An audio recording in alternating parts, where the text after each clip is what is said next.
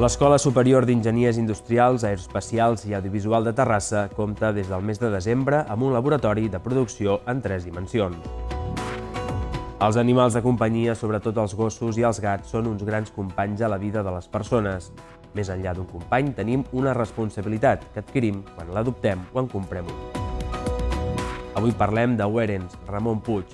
L'artista porta gairebé tres dècades omplint de color i controvèrsia als carrers de Sabadell.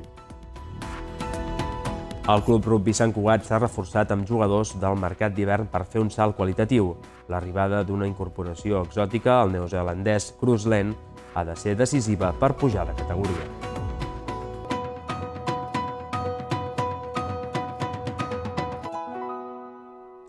Benvinguts de nou a la setmana del Vallès Occidental. Més de 100 metres quadrats dedicats a la impressió de prototips i objectes en 3D amb una desena de maquinària d'altíssima qualitat i precisió.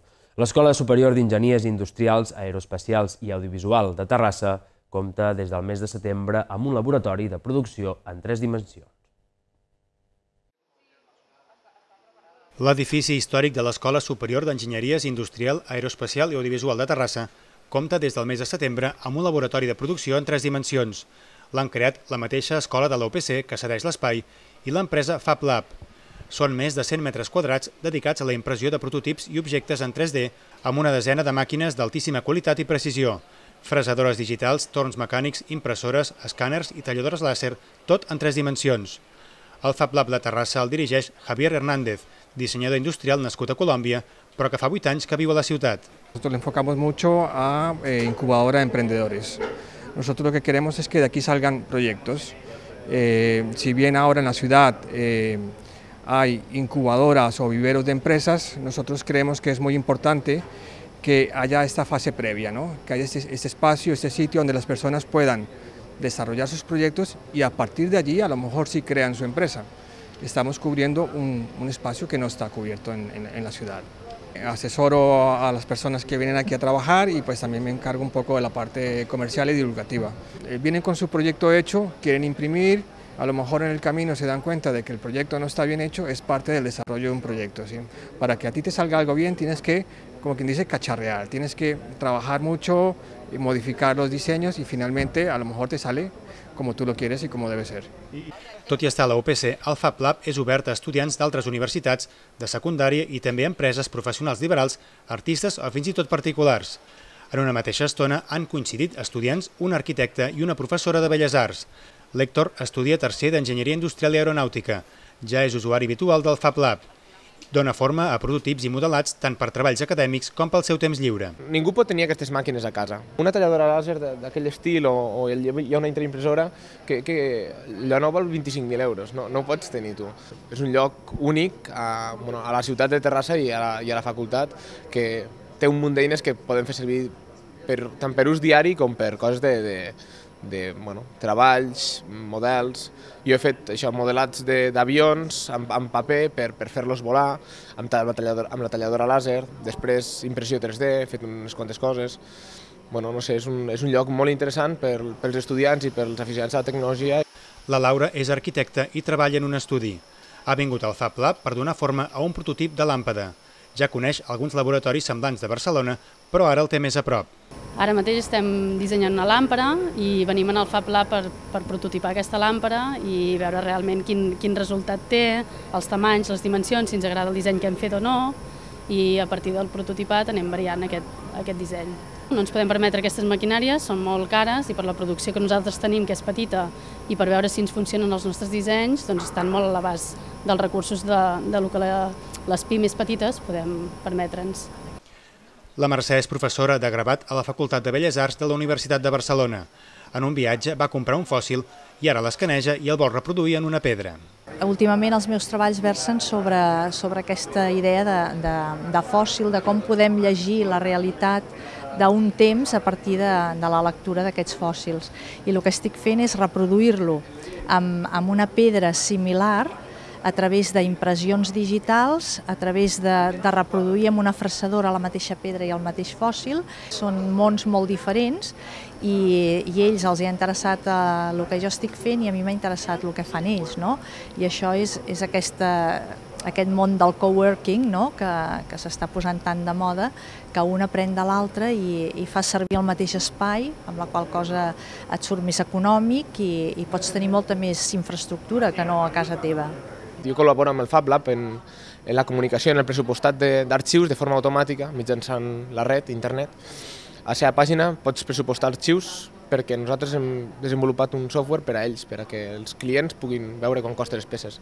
I bueno, ens coneixem tots i bueno, crees uns vincles d'amistat i d'afició que estan molt bé. Que et fiquen l'utilització d'aquestes màquines que són molt, molt, molt, molt cares a l'abast de, dels despatxos petits, no? que no ens podem permetre aquesta maquinària, però que pagant una sèrie d'hores fem un, un renting, un lloguer, i llavors ens permet prototipar les, els nostres dissenys, les nostres peces, fabricació, etc etc que estigui ubicat a la pròpia universitat, a la Politècnica, eh, és, és el lloc ideal, no? perquè doncs, eh, té molts més recursos, eh, hi ha gent que la fa servir, llavors els mateix, el mateix laboratori s'enriqueix d'això i aprèn molt més. Los Fab Labs en, en un futuro, como, como van las cosas, va ser un sitio donde la gente viene a fabricar, mm, por ejemplo, se te ha dañado la nevera, te falta una pieza, y a lo mejor en el futuro lo que va a pasar es que el fabricante de esa nevera tiene una biblioteca de, de piezas que tú descargas y vas a un sitio como este a fabricarla. A més del de Terrassa, a Catalunya hi ha set Fab Labs més, a Lleida, Sitges, Castelldefels i quatre a Barcelona. Com a oferta de llançament per 20 hores mensuals, inclosa una de làser, un estudiant paga 15 euros i un professional 25.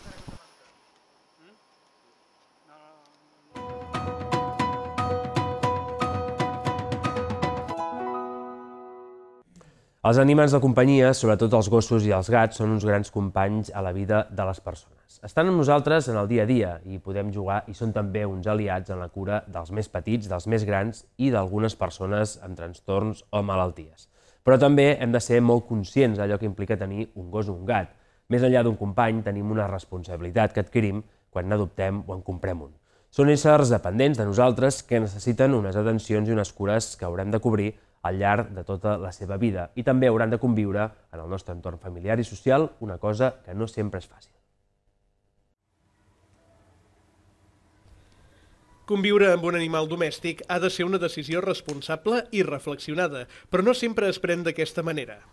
Per això, avui volem donar-vos alguns consells sobre què implica tenir un gos o un gat, com tenir-ne cura i de com promoure una convivència sana i cívica.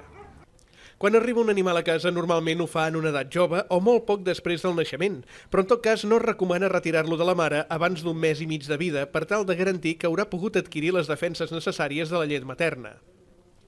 A partir d'aquest moment cal seguir la pauta de vacunacions i revisions que ens indiqui el veterinari, un procés que sol arrencar a partir dels dos mesos de vida i que bàsicament permetrà tenir un control de la salut de l'animal.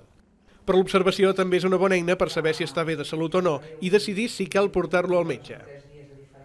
Per exemple, seria molt important veure, primer, que el gos o el gat estan alegres. Eh? Això, quan, si tu veus un animal que juga i fa l'activitat habitual, doncs això és una bona senyal. Si tu veus un animal molt quiet, eh, clar, si és molt petit, dormen moltes hores, però a l'hora de l'activitat eh, es mouen i tenen ganes d'anar amunt i avall. Si veus que aquell animal està massa quiet, doncs això pot ser ja un motiu d'alerta.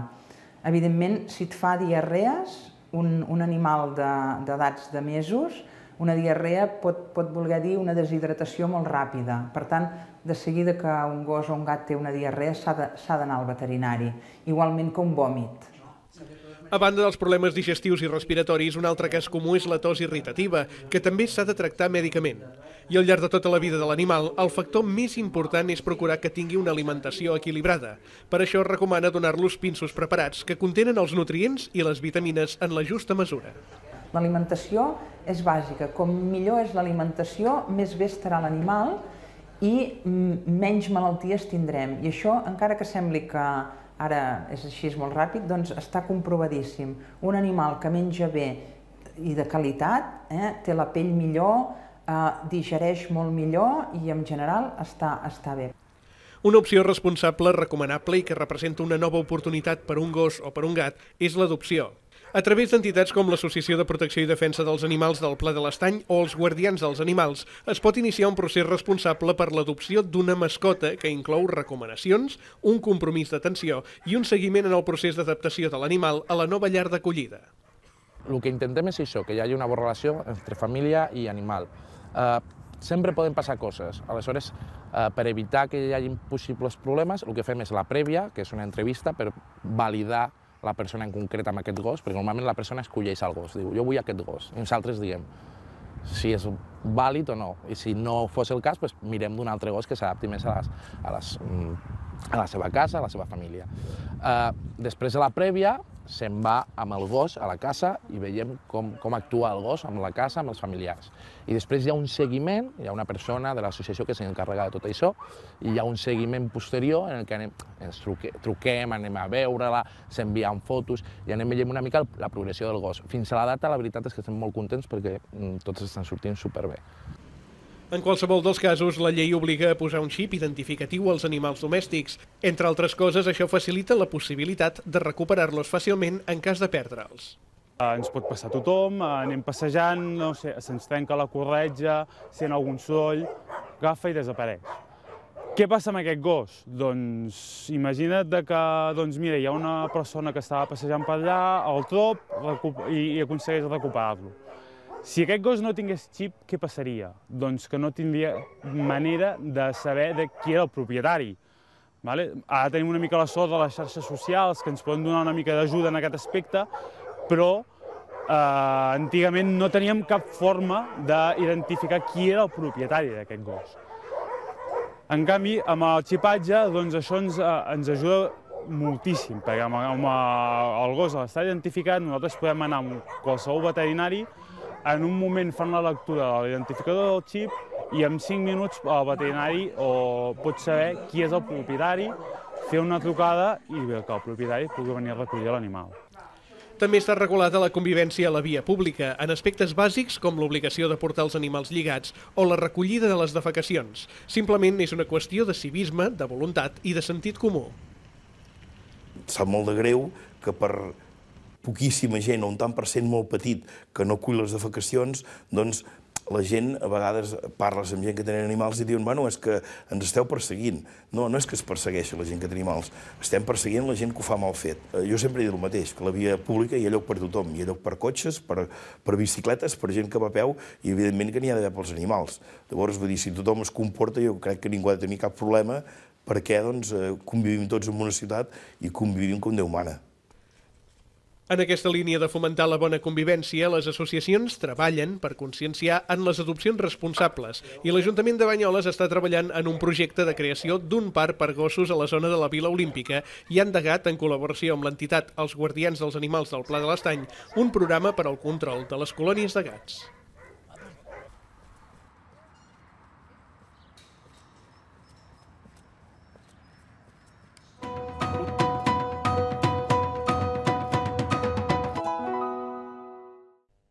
Poques vegades s'exposen grafitis dins d'un museu. Avui parlem de Werens, Ramon Puig. L'artista porta gairebé tres dècades omplint de color i controvèrsia als carrers de Sabadell. El Museu d'Art de Sabadell ha presentat una exposició dins del cicle Singulars propis artistes sabadellencs contemporanis. Pintar un grafiti és la millor manera d'acostar l'art a tothom. Ho diu Werens, Ramon Puig.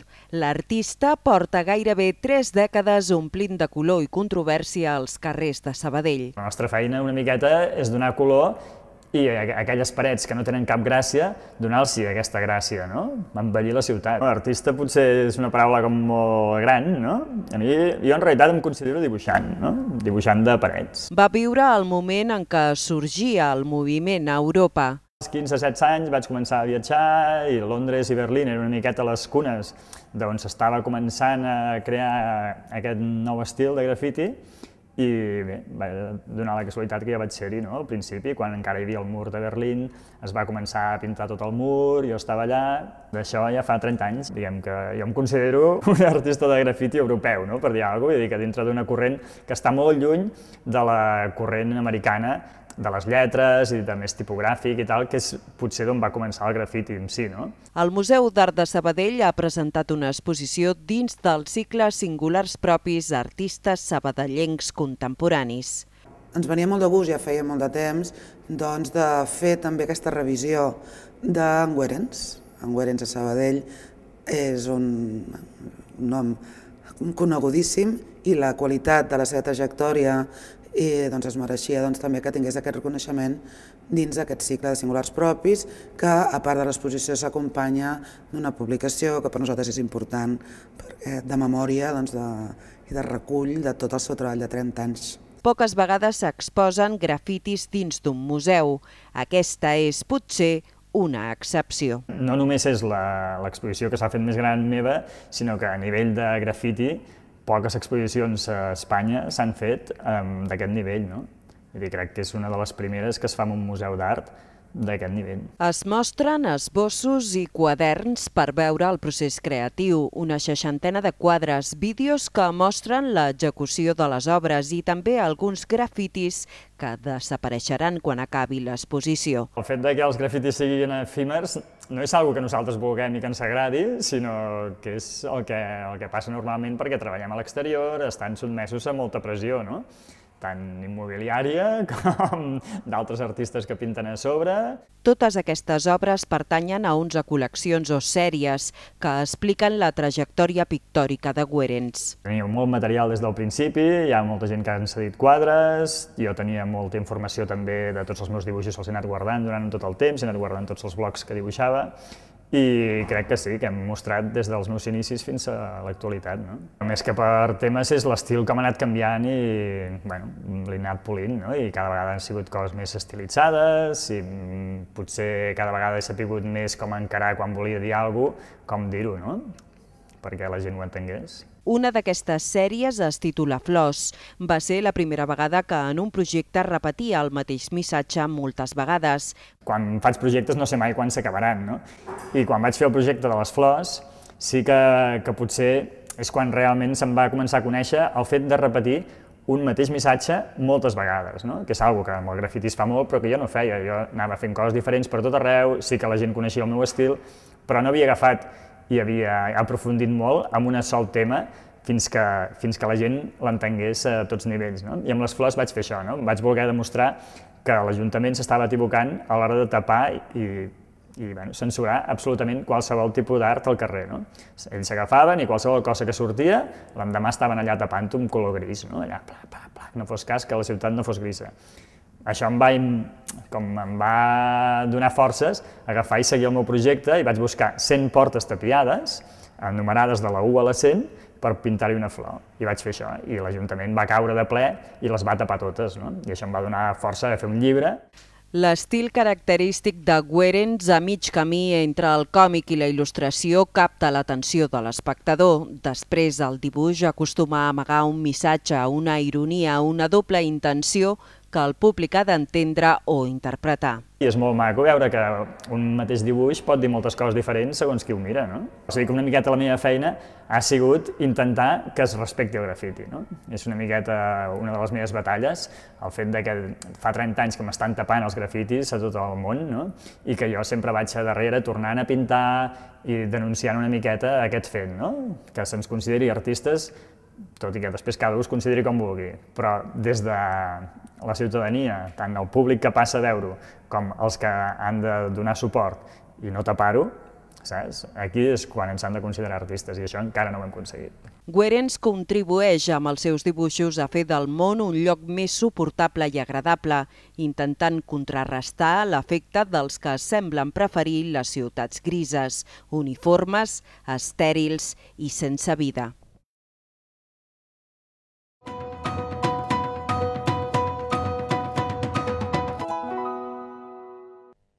I per últim, acabem avui parlant d'esports perquè el Club Rugby de Sant Cugat vol pujar a la divisió d'honor màxima categoria del rugby estatal. Després de tres temporades quedant-se a les portes, el conjunt Sant Cugatenc s'ha reforçat amb jugadors al mercat d'hivern per fer un salt qualitatiu.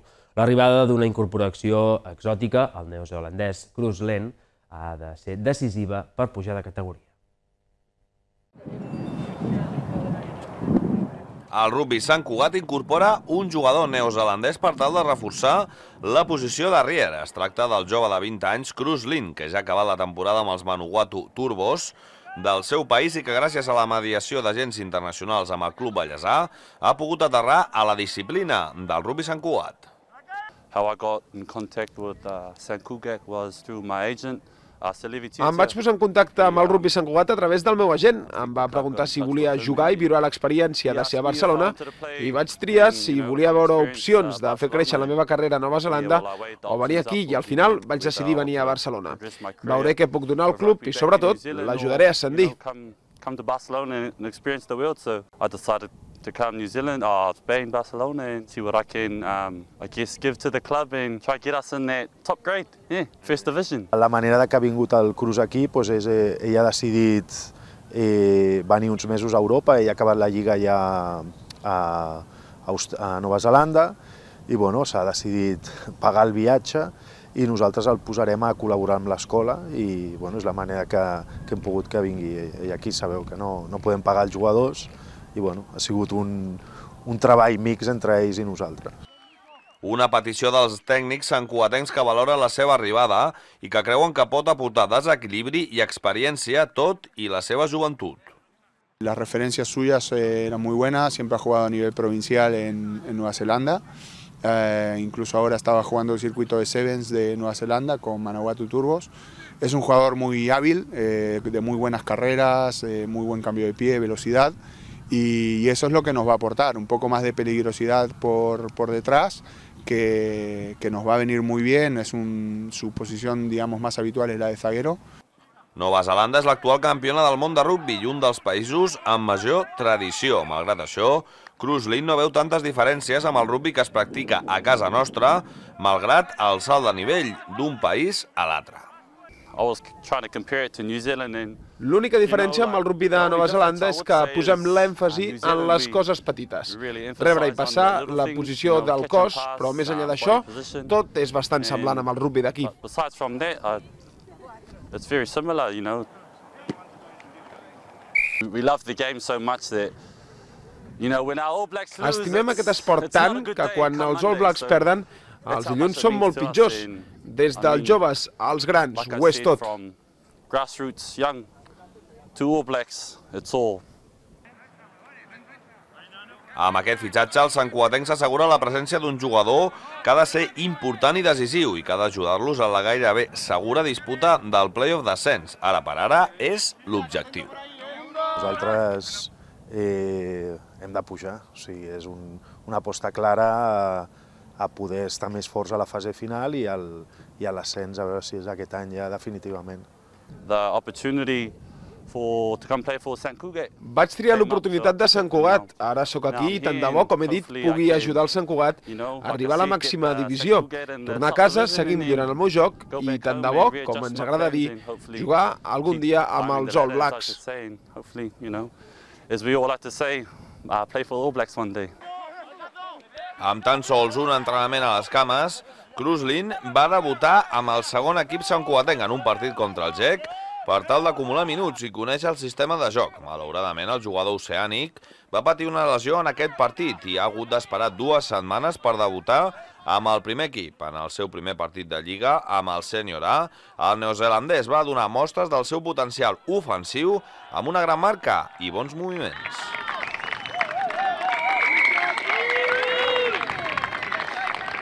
Ya le falta todavía entender un poquito las, las, jugadas y demás, pero lo que está clarísimo es que tiene un uno contra uno bestial y que, y que nos puede aportar mucho en ataque. Tiene que mejorar en defensa, pero bueno, esto es parte del juego. Hay que mejorar varios aspectos, eh, tanto la defensa individual de él, pero quizás también la defensa colectiva, donde lo ayude a, a tener mejor controlado ese tema.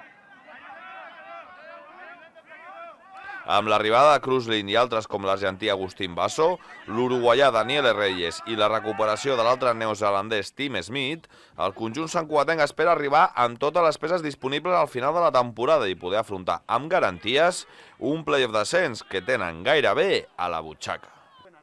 Así, ¿eh? Vamos, va. Bien, tío, de camino, ¿eh? Vale. ¡Sacu! Yeah!